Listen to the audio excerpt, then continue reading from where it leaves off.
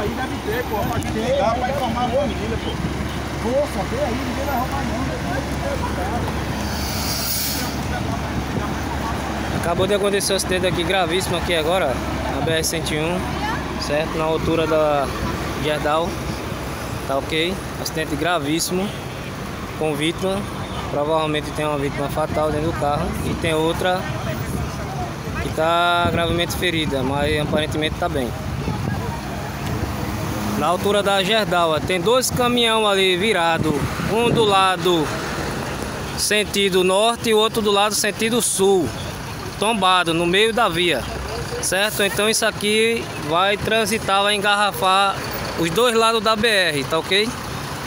Na altura do posto Cotegi, próximo à pedreira aqui da Comporta.